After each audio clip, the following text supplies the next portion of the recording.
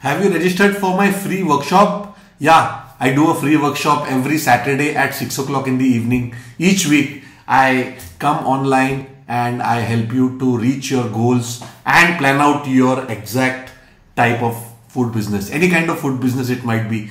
The online workshop is free and it is happening this week end on Saturday at 6 p.m. So if you have not yet registered, just click the link in the description section, go there, enter your name, email ID, sign up, and most importantly, be there live and we can work on your successful food business. This is Gopal Kamath signing off.